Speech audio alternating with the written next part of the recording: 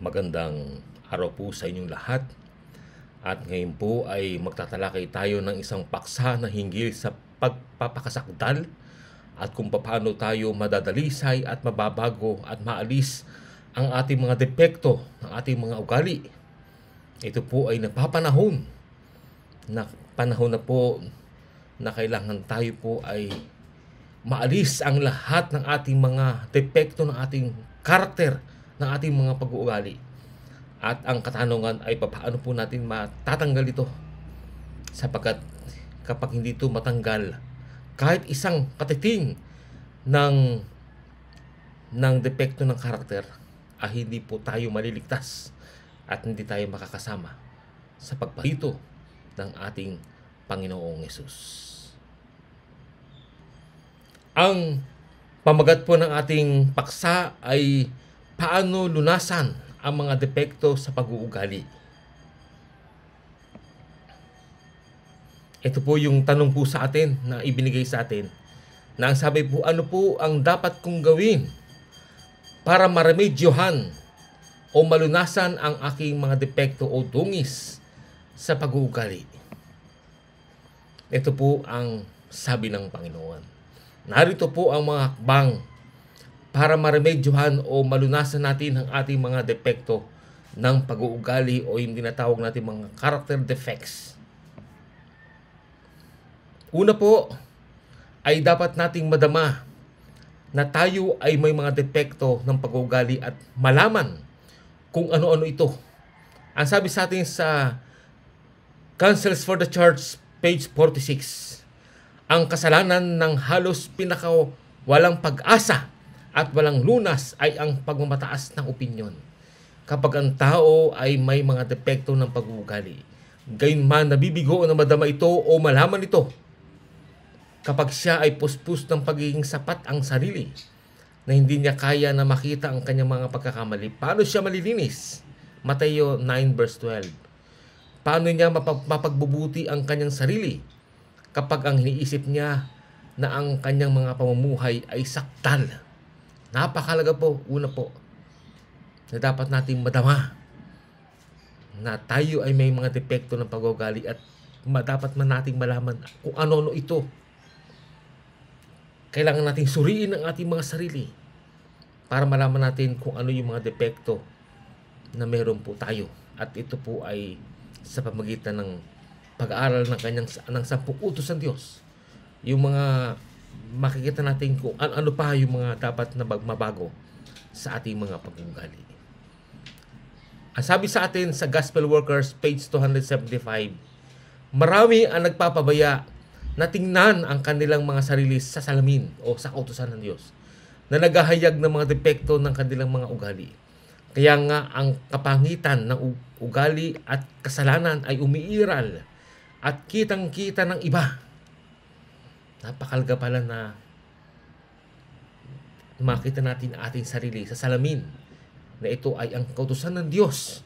Kaya kailangan natin panoorin po yung mga iba't ibang mga mga video natin hinggil sa sampung utos ng Diyos.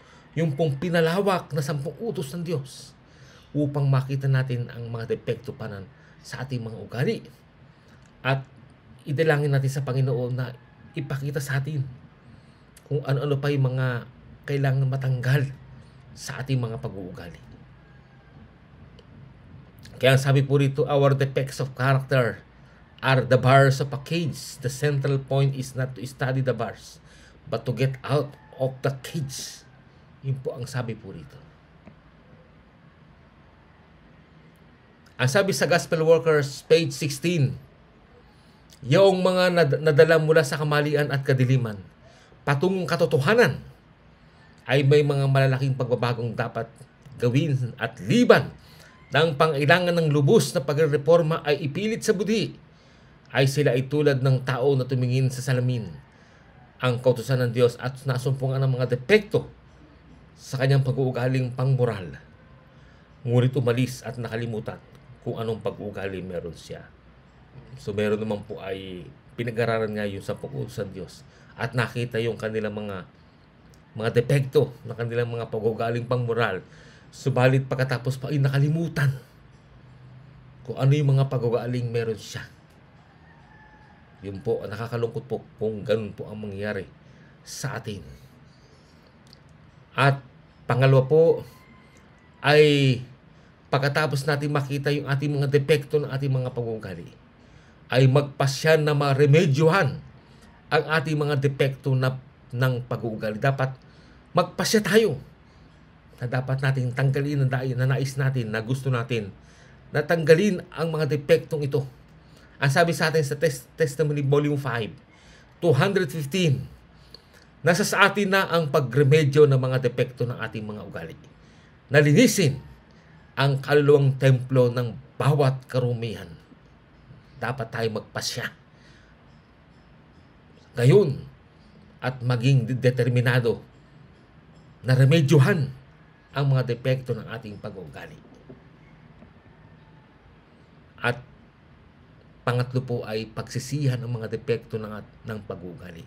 Ang sabi sa Adventist Home 319, dapat nating pagsisihan ang ating mga depekto ng pag-uugali at sa pamagitan ng biyaya ni Kristo ay dapat nating mapanagumpayan ang mga ito habang bukas pa ang pinto ng awa.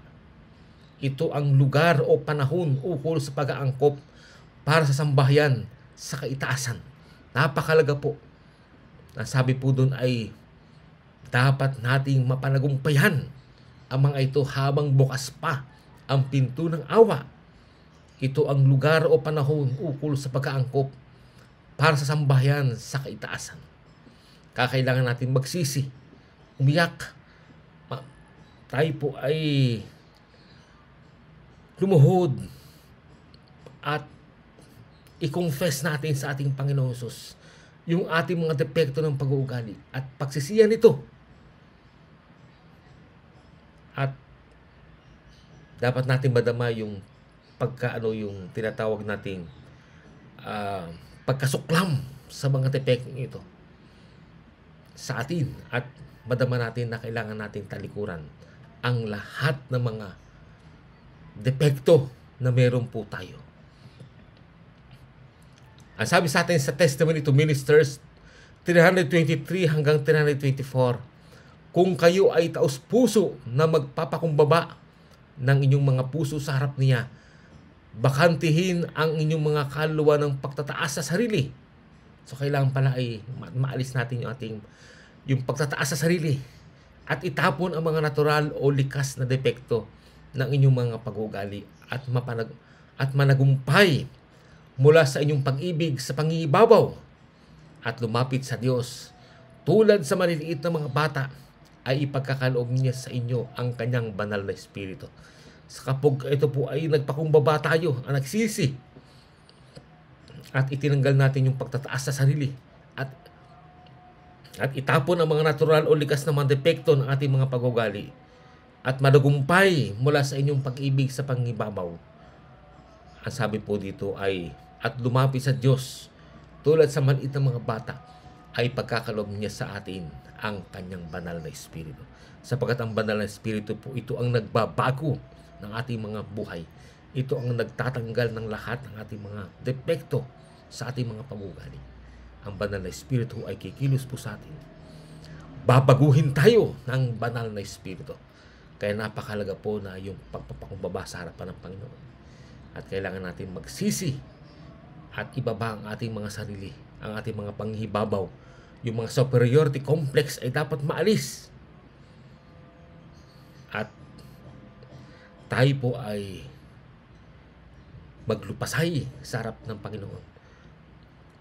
Na tayo po ay determinadong magsisi sa lahat ng ating mga kasalanan. Sabi sa atin sa manuscript, volume 13, page 82, at makikita rin sa Last Day Events, page 295, ang ating pang-araw-araw na pamumuhay ay nagpapasya ng ating kapalaran. Dapat pakisihan at mapanagumpayan ang mga depekto ng pag-uugali sa pamagitan ng biyaya ni Kristo at dapat mabuo ang simetriko o sakdal na pag-uugali samantalang hindi pa sarado ang pinto ng awa upang tayo ay may angkop para sa mga mansyon sa kaitasan. Napakatindi po ito.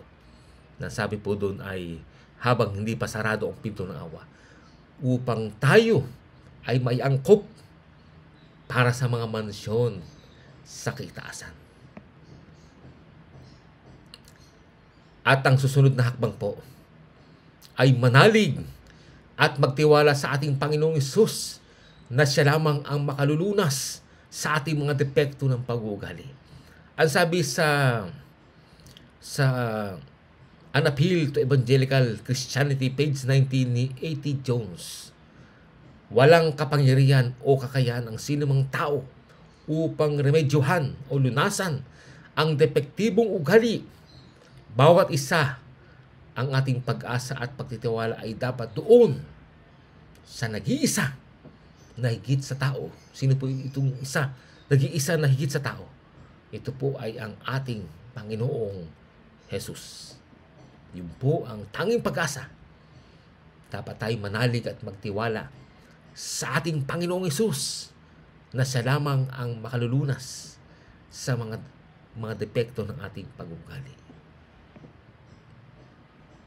Sabi sa atin sa Faith and Works, page 31, ang iba pa rin na kinukundinan ng kautusan ay magsisi ng kanilang mga pagsalangsang at sa pamagitan ng panampalataya sa mga kabutihan ni Kristo ay makapagpapasakdal ng ugaling kristyano. Napakalaga po yung pananampalataya sa mga kabutihan ni Kristo. Dapat tayong sumampalataya at manalig sa Kanya na sa magitan ng kanyang kabutihan ay makapagpapakasakdal ng, ng ating ugaling kristyano. At ang isa pa po ay makipagniig o makiisa kay Kristo. Ang sabi sa Acts of the Apostles, page 59, page 559, ang pagbabago ng ugaling iyon na nakikita sa buhay ni Juan ay bunga ng pakipagniig kay Kristo. Napakalaga po na yung palang si yung palang si Juan kaya nagbago yung kanyang buhay. Ang sabi po doon, ang pagbabago ng ugaling iyon na nakita sa buhay ni Juan ay bunga ng pakipagniig kay Kristo. Napakalaga po yung pakipagniig. Yung tinatawag sa English ay communion with Christ. Sapagkat kapag habang tayo nakikipagniig kay Kristo, nakipag-communion sa Kanya, mababago ang ating mga ugali at ang ating ugali ay magiging katulad ng ugali ng ating Panginoong Yesus. At ang isa pa po ay huwag maging kontento sa mga depekto ng pag-uugali sa halip sumulong sa pagtatagumpay dahil kay Kristo. Ang sabi po sa atin sa Historical Sketch 181, ginawang posible niya o ni, ni Kristo para sa atin na magkaroon ng banal na pag-uugali. Kaya nga huwag nga tayo maging kontento sa ating mga depekto at mga kapangitan ng ugali Ngunit samantalang tayo ay naghahangad ng mataimtim para sa kasakdalan ng pag-uugali, dapat nating maalala na ang pagpapakabanhal ay hindi gawain ng sandali, kundi habang buhay. Sabi ni Pablo, araw-araw ako namamatay. Araw-araw dapat sumulong ang pananalig, ang pananaig o pagtatagumpay. Dapat pala ay araw-araw tayong sumusulong araw-araw na tayo nananaig at nagtatagumpay laban sa mga kasalanan at sa ating mga depekto ng ating mga pag-uugali. Sabi sa atin, ang isa pa po ay ating isuko ang ating sarili sa Panginoong Isus. Ang sabi sa Evangelism page 702 at nasa Selected Message Book 1 page 191. Ang sabi po ay ang huling ulan ay darating at ang pagkapala ng Diyos ay pupuno sa bawat kaluluwa na nalinis mula sa bawat karumihan. Ang gawain natin ngayon ay ang isuko ang ating mga kaluluwa kay Kristo upang tayo ay maging angkop para sa panahon ng pagkapanariwa mula sa presensya ng Panginoon. Angkop para sa binyag ng banal na Espiritu. Napakalaga po yung isuko natin ang ating mga kaluluwa kay Kristo. Kapag naisuko natin po ito, ay magiging angkop tayo para sa panahon ng pagkapaniriwa mula sa presensya ng Panginoon. Angkop para sa binyag ng banal na Espiritu. Kaya ang ating dapat na pangusap ay, I surrender. Lord Jesus, I surrender my all to you. Yun ang dapat na maging pangusap natin sa panahon ngayon upang matanggal lahat ng ating mga masamang ugali. Ang ating mga depekto ng ating pag-ugali ay maalis at malinis at maging dalisay ang kup para sa pagparito para sa paglipat, pagparito ng Panginoong Jesus at paglipat natin sa langit at magmana ng mansyon na inilaan, inihanda ng Panginoon para maging tahanan natin doon sa langit na bayan. At ang isa pa po ay humingi ng tulong at saklolo sa ating Panginoong Isus. Ang sabi sa Testimony Volume 1, 619, tulungan nawa ng Panginoon ang kanyang bayan na linisin ang kaluluwang templo mula sa bawat karumihan at panatiliin ang malapit na ugnayan sa Kanya upang sila ay maging mga kabahagi ng huling ulan kapag ito ay ibubuhos na. Napakalaga po na tayo ay humingi ng tulong at saklolo sa ating Panginoong Iso Kristo.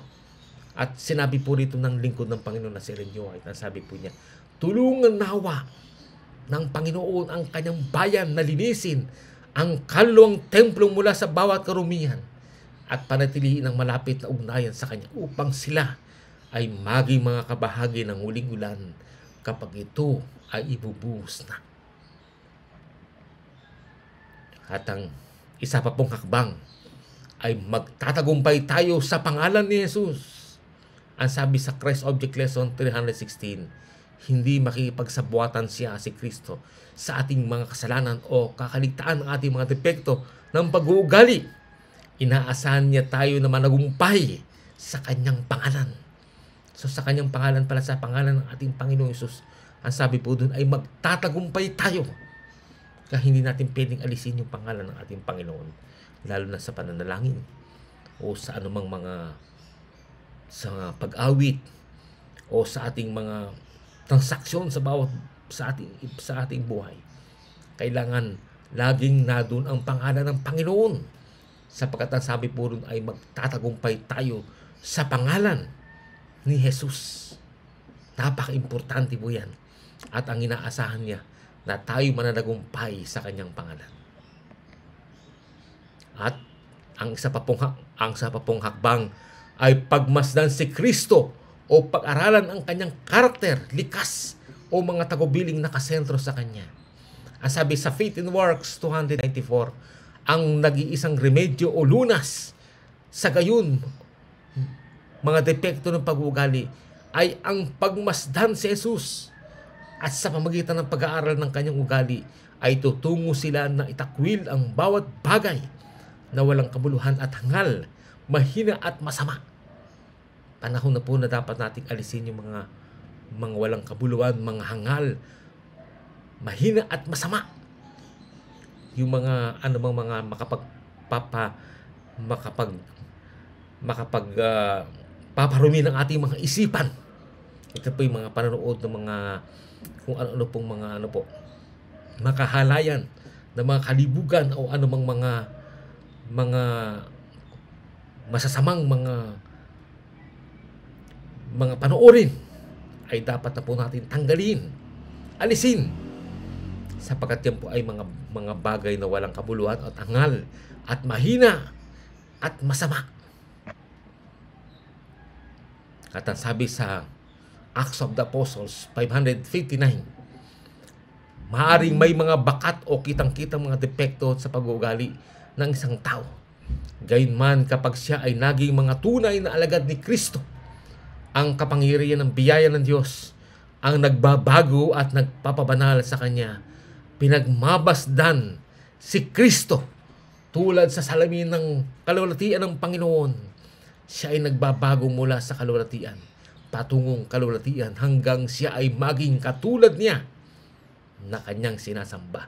So kapag ating pinagmamasdan pala ang ating Panginoon sa magitan ng pag-aaral ng kanyang buhay, ng mga reformasyon na kanyang ipinagkaloob, mga tagubilin na kanyang ipinagkaloob sa kanyang sa kanyang mga salita at pinag-aralan natin yung kanyang likas. Kung ano meron likas ang ating Panginoong Yesus. ay unti-unti ang sabi po doon ay mababago tayo mula sa kalwatian patung kalwatian hanggang siya ay maging katulad niya na kanyang sinasamba. Habang siya pong ating tinitingnan sa halip yung mga mga masasamang panoorin ay ang ating pag-aralan at pagmasdan ating pag-uulan ng pansin ay ang ugali ng ating Panginoong Kristo ay unti-unti po tayo ay mababago po ang ating pag-ugali at magiging katulad ng ugali ng ating Panginoong Jesus. Ang sabi sa atin, ating pansinin, ang sabi po doon sa Testimony Volume 5, 214, wala sa atin ang tatanggap ng tatak ng Diyos. Samantalang ating mga ugali ay may isang batik o mansa. Nasa sa atin na ang pagremedyo ng mga depekto ng ating mga ugali. Nalinisin ang bawat kaluluwang templo ng bawat karumihan. Kung magkagayon, ang uling ulan ay bubuhos sa atin tulad ng pagbuhos ng unang ulan sa mga alagad ng araw ng Pentecoste. Napakalaga po na kapag narmedyo na po yung ating mga pag-uugali. Ang sabi po doon, at nalinis na ang ating kaluluwang templo ng bawat karumian. Kung magkagayon ang huling ulan ay bubuhos sa atin tulad ng pagbuhos ng unang ulan sa mga lagad ng araw ng Pentecoste. Nung unang Pentecoste po, unang Pentecoste ay mayroong dilang apoy na na pumatak sa bawat mga alagad. Ay gayon din po ang mangyayari sa panahon na tayo po ay nalinis na ng lahat ng karumihan at naremedyohan na yung ating mga depekto ng ating ugali at ang ating buhay na ay naging katulad na ng ugali ni Kristo. Ang sabi po doon ay bubuhosan na po tayo ng kapangyarihan ng banal na Espiritu. Ito po yung refreshing presence, refreshing from the presence of our Lord Jesus Christ. At ito po ay tinatawag na pagbuhos ng pagbuhos ng huling ulan, yung kapangyarihan ng huling ulan na tulad ng pagbuhos ng unang ulan sa mga alagad nung araw ng Pentecoste.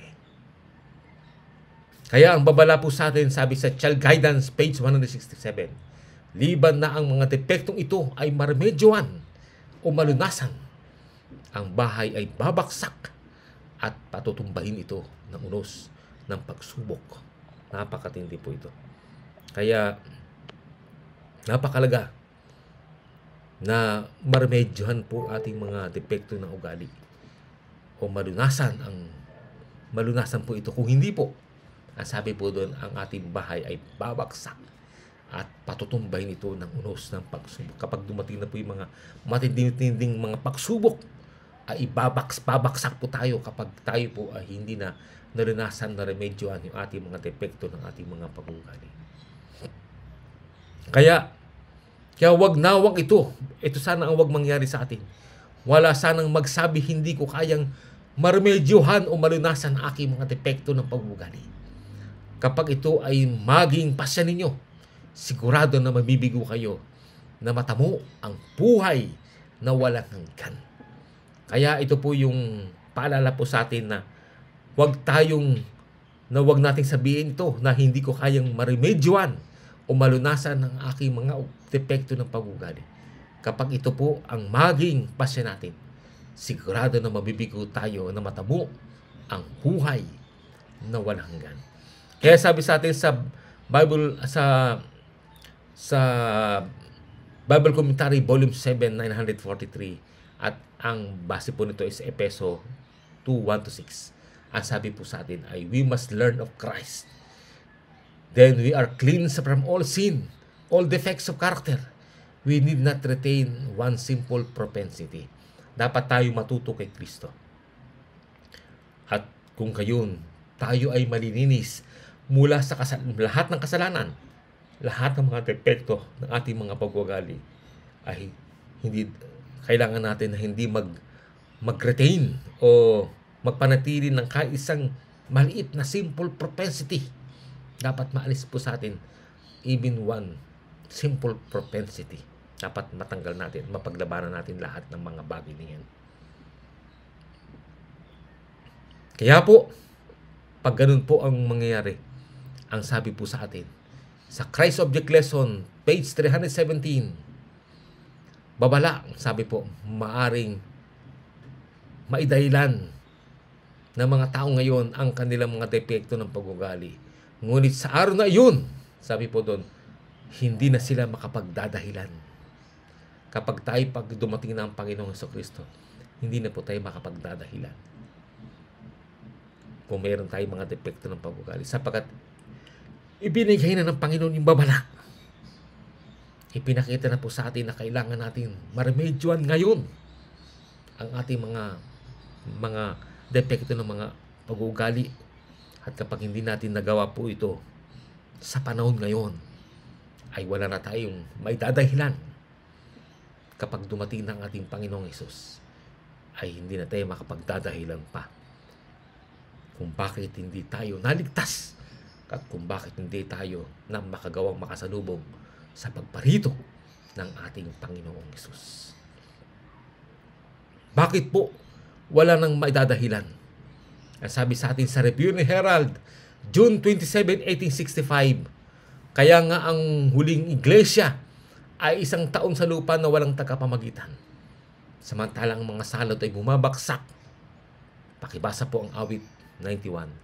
Kung kaya ang iglesia na pumaroon sa panahon ng kabagabagan na may pinakamaliit na dungis o depekto sa kanilang mga ugali ay hindi sila maliligtas sapagkat wala ng kapatawaran. Ang mga tadhana ng lahat ay hindi na mababago at magpasawalang hanggang nakatakda na. Subalit ang mga kasulatan ay nagtuturo na mailan na madadat ng buhay sa lupa at maliligtas pagparito ni Kristo. Unang Thessalonica 4.15-17, Hebrew 9.28 at Isaiah 26.9. At tayo ay tahimik sa konklusyon na mga ito ay nakahubog ng mga saktal na ugali o karakter bago pa dumating ang panahon ng kapagabagan. Tandaan natin po na napakalapit ng dumating. Napakalapit ng dumating ang panahon ng kapagabagan. At dapat po tayo sa panahon ito ay nakakahubog. Nakahubog na tayo ng mga sakdal na ugali o karakter bago pa dumating ang panahon ng kabagabagan. Kapag hindi po, kung meron tayo isang pinakamaliit na dungis o depekto sa ating mga ugali, ay hindi tayo maliligtas hindi tayo papasok sa langit, hindi tayo ililigtas ng Panginoon. Kahit isang maliit na depekto na tungis na meron sa ating mga ugali. Kaya ang sabi sa atin po, kaya nga bago pa dumating ang panahon ng kabagabagan o bago pa magsara ang pinto ng awa ay gagawin lahat ni Satanas na may kahit katiting na dungis na manatili sa mga hirang o mga lingkod upang hindi sila maligtas. Pansinin mabuti ang sabi sa sa um, sa CIHS page 125. Ito ay Christ in the Heavenly Sanctuary page 125. Ang sabi po, sa pamagitan ng mga depekto sa ating ugali ay gumagawa si Satanas upang makontrol ang buong pag-iisip at alam niya na kung ang mga depekto na ito ay mairog, magtatagumpay siya. Sabi kung alam alam niya na kung ang mga depekto na ito ay mairog, magtatagumpay siya. Kaya gagawin pala lahat ni Satanas na magkaroon tayo ng kahit isang maliit na depekto ng ating ugali na manatili sa atin Sapagkat sapat na po yun, yung maliit na depekto sa ating ugali. Sapat na po yung para hindi tayo makapasok sa langit. Yan, hindi tayo magmana ng mga ng bagong langit at bagong lupa na inilaan ng Panginoon para sa atin, para sa mga maliligtas at magtatagumpay. Nakakalungkot po kapag yan po ang mangyayari po sa atin. Kaya ang sabi po sa Great Controversy, Tagalog 475 to 476, ang mga tao ay matuling na ipaghihele sa isang mapanganib na pamamata, pampapanatag at magigising sa pagbubuhos lamang ng galit ng Diyos. Kaya ang ginagawa pa rin ni Satanas ay ipinaghihele niya sa isang mapanganib na pamamat, pam, pamamanatag ang mga tao sa magitan ng mga kung ano yung mga napapanood natin, mga TikTok o anuman mga mga pinagkakalibangan natin. hanggang sa makita na lamang natin at magising tayo na ibinubuhos na pala ang galit ng Diyos. At tayo waglit.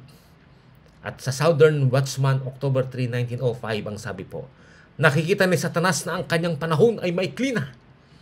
Pinagagalaw niya ang lahat ng kanyang mga kasangkapan upang ang mga tao ay mataya, malinlang, malibang, at mamalikmata hanggang sa ang araw ng awa ay matapos at ang pinto ng awa ay mapinid na magpakilanman. Kaya narito po, nakakalungkot po. Kaya pinapagalaw pa rin ni Satanas ang lahat ng kanyang mga kasangkapan upang madaya, malinlang at malibang. Lilibangin niya yung mga tao ng sari-saring mga libangan. Napakarami libangan po si Satanas. At mamalikmata na lamang tayo at makita natin hanggang sang araw ay matapos at ang pinto ng awa ay mapilid na magpakilanman.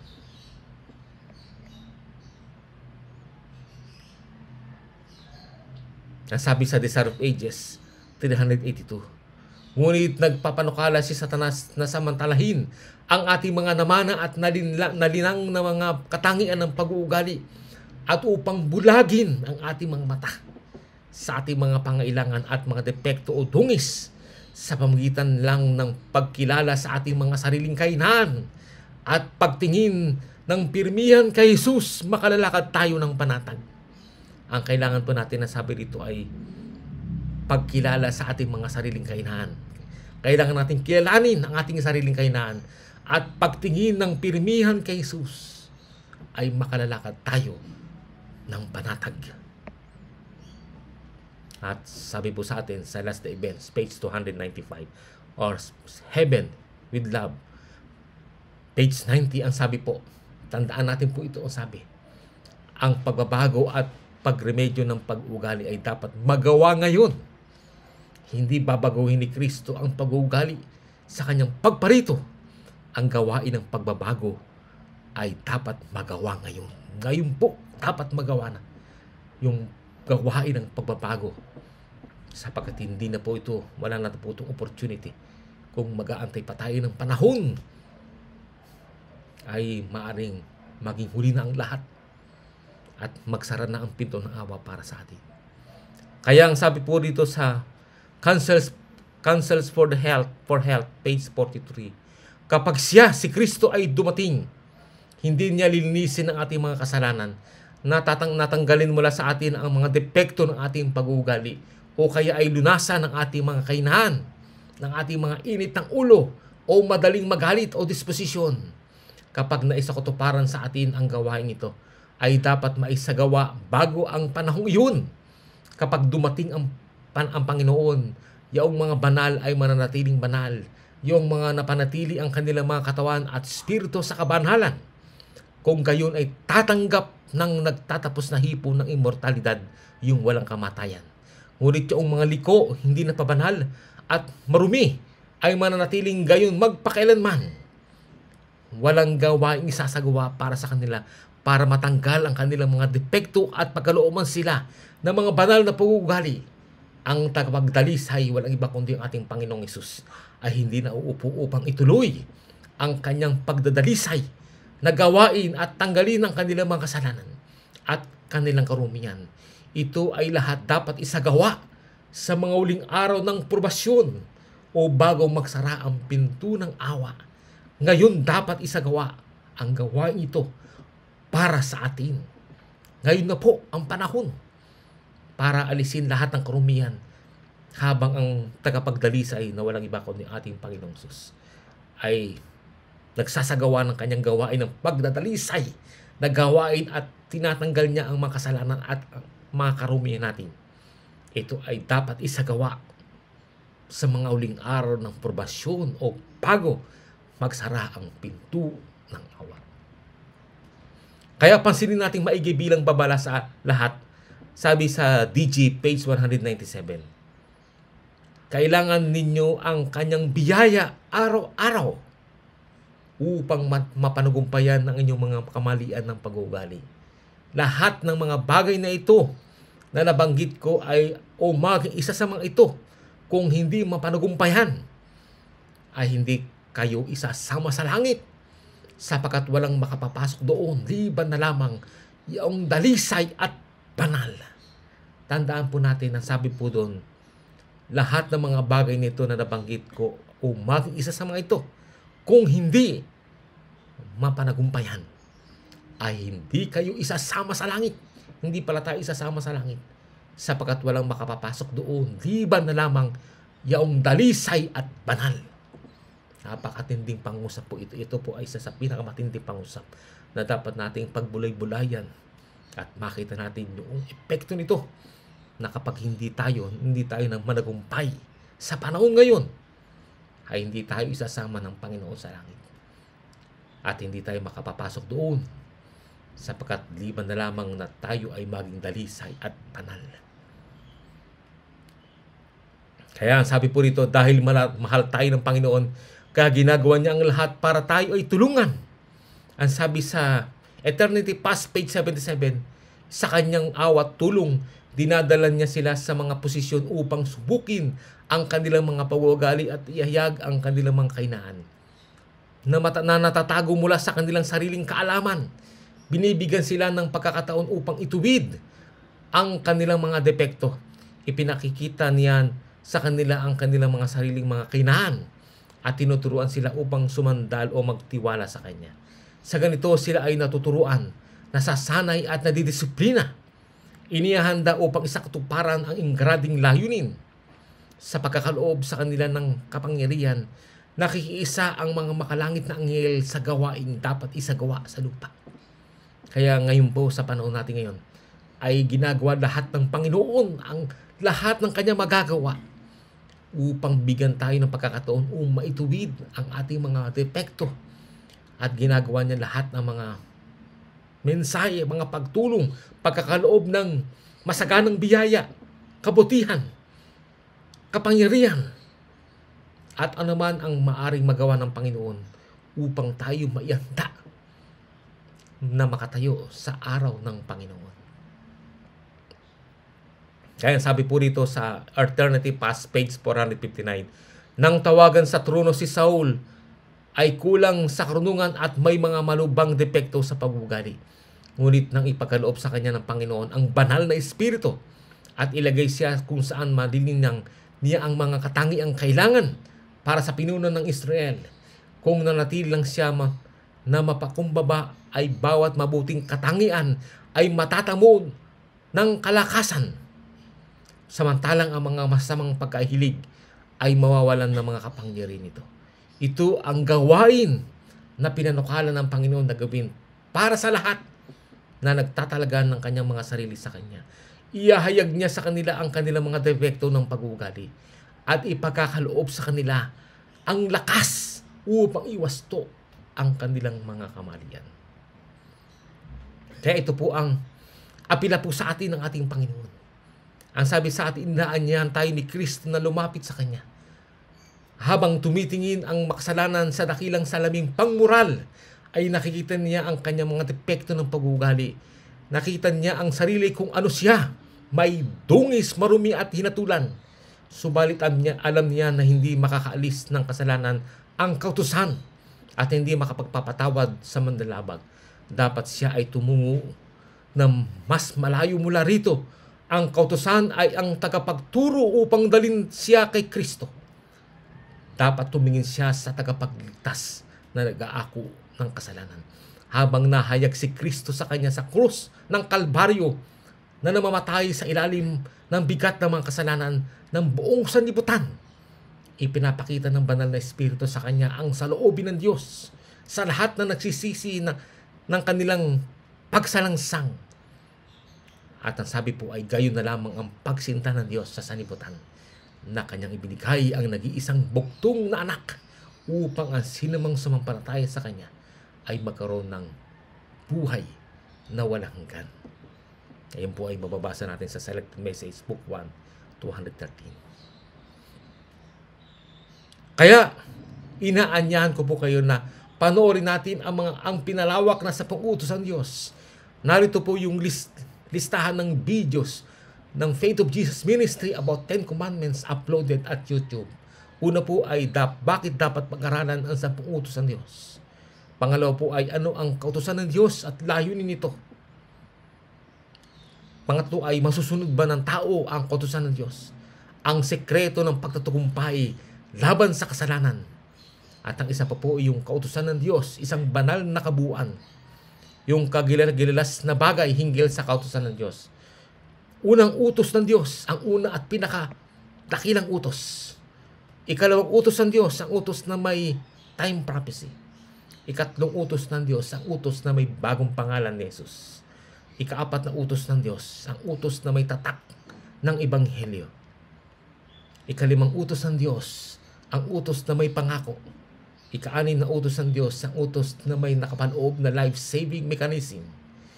Ikapitong utos ng Diyos, ang utos na pinagbabawal ang courtship at lovemaking before marriage. At ikawalong utos ng Diyos, ang utos na may simulain ng ideal business management. Ikasyam na utos ng Diyos, ang utos na binubunyag ang kamalian ng lahat. Ikasampung utos ng Diyos, ang buod at puso ng sampung utos ng Diyos. At ang, at ang pinakahuli po, at ang isa pa po ay ang ating tunay na kalagayan sa paningin ng Diyos. At ang isa pa po ay paano lumapit kay Kristo siya na tagapagligtas, Panginoon at taga-ako ng kasalanan. At bakit galit si Satanas sa kautusan ng Diyos? Masunurin ba ang mga pariseo sa mga utos ng Diyos? At at ang pinaka at ang isa pa po ay may nakatupad ba sa sampung utos ng Diyos? Kung meron, paano nila naipatupad ito? At ang pinakalas po ay dapat babang ituro ang kautusan ng Diyos. Yan po yung mga iba't ibang mga paksa na inaanyahan ko po kayo na inyong panoorin sa ating YouTube sa FOJ Ministry sa YouTube.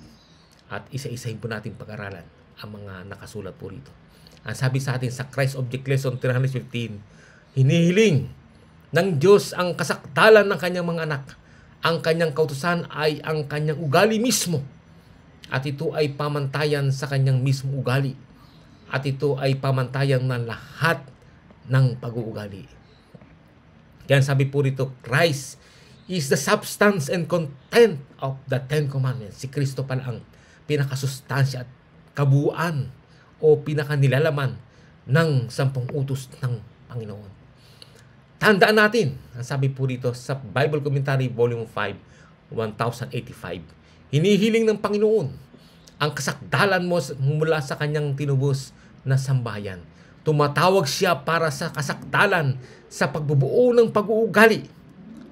Ang sabi po dito ay, ang sabi po sa Christ Object Lesson, page 330, we need to understand that imperfection of character is sin.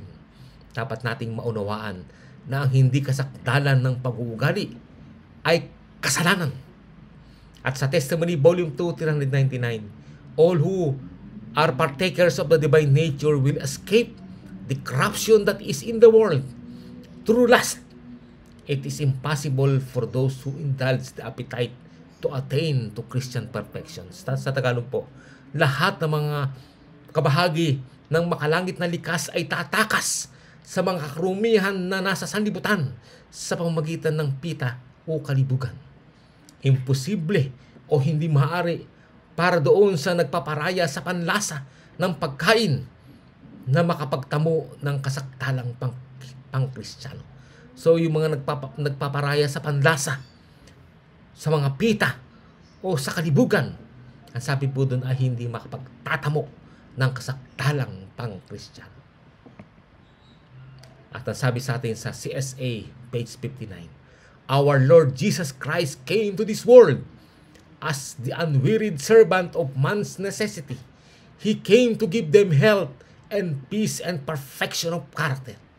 Naparito ang ating Panginoong Yeso Kristo sa sanlibutan ito bilang isang hindi napapagod na lingkod ng pangailangan ng tao.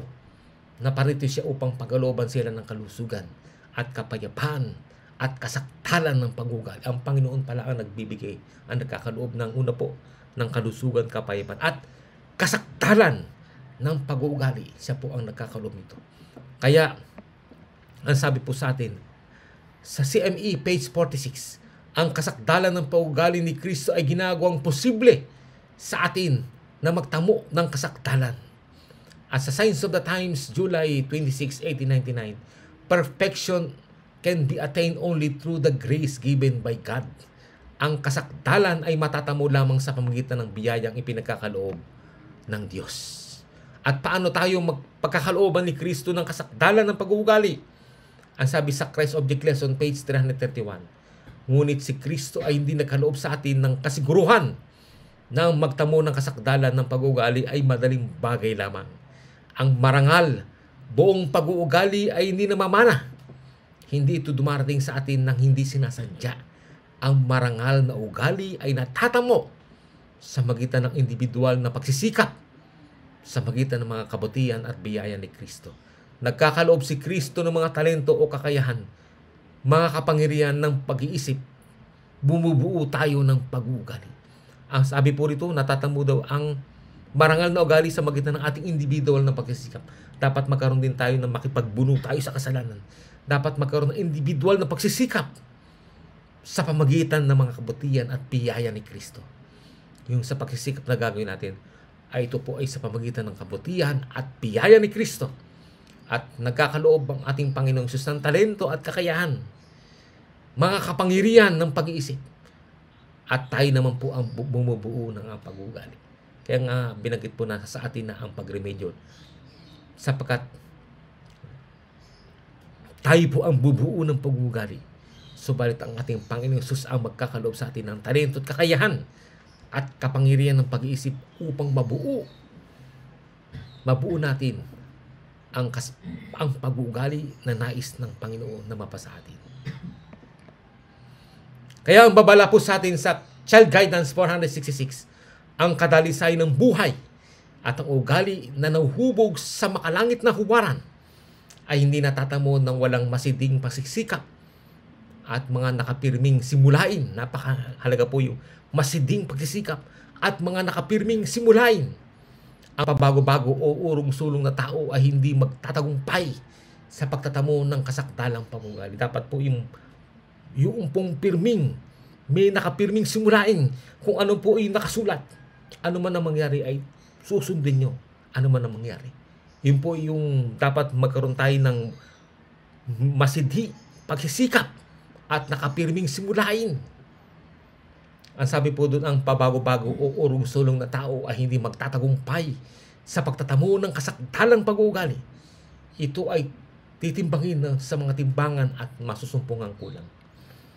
Kaya ang sabi ng ating Panginoong Jesus ay the perfection of Christian character depends wholly upon the grace and strength found alone in God.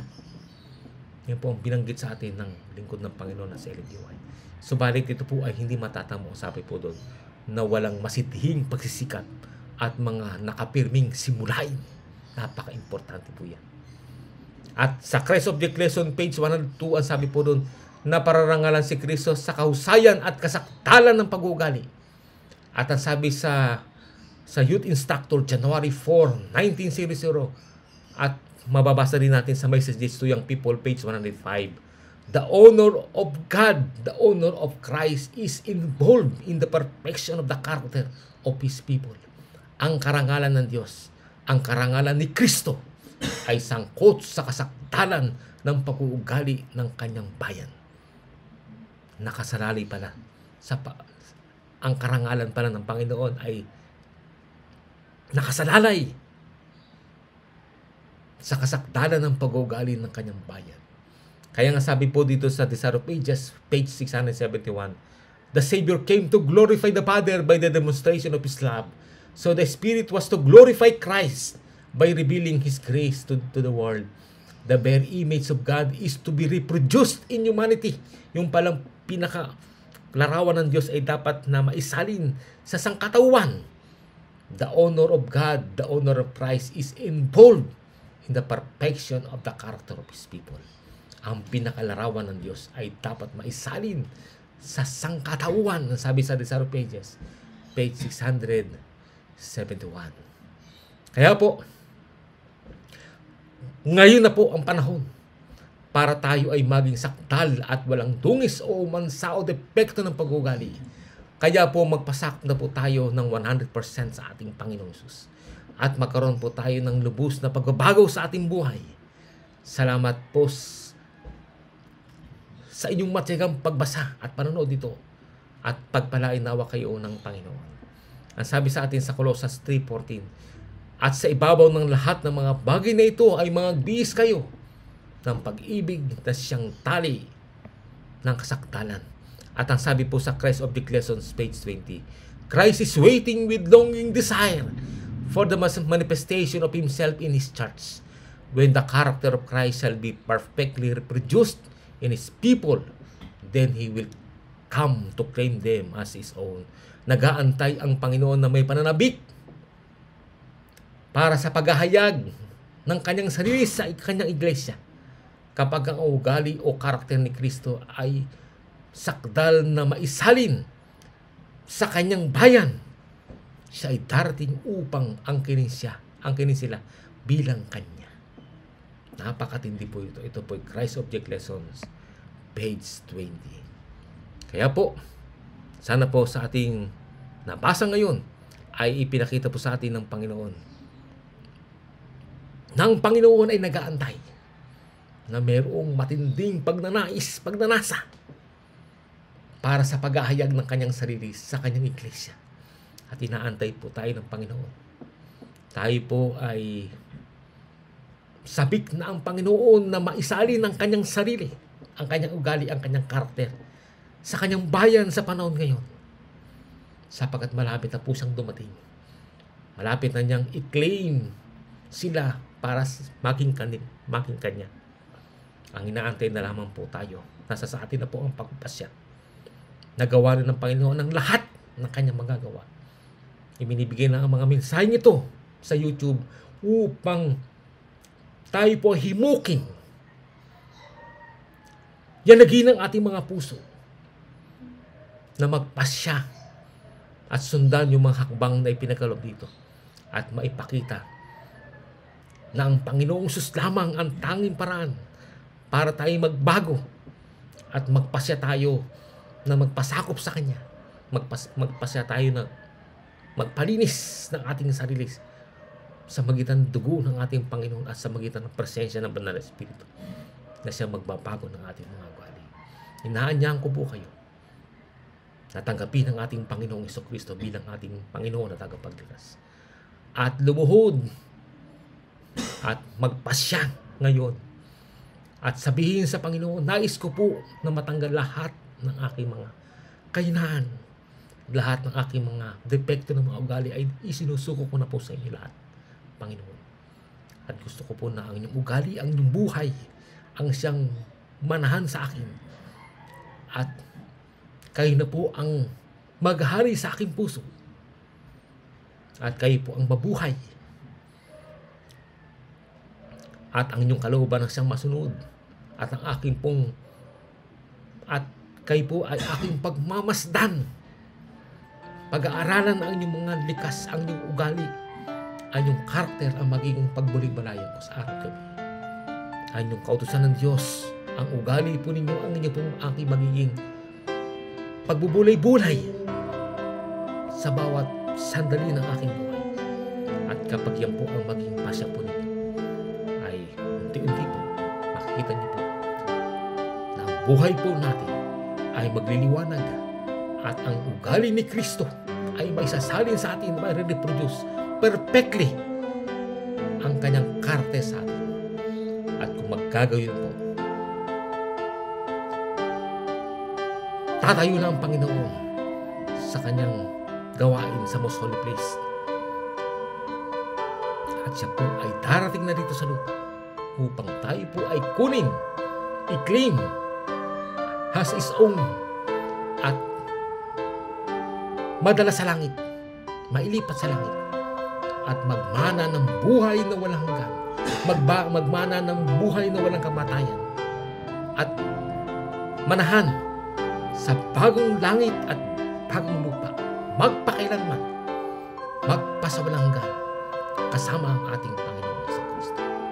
Salamat po at sana po ito ay makabisa at lumakas ang ating pananampalataya at sumigla ang ating pananalig at pagtitiwala sa ating Panginoon sa Kristo.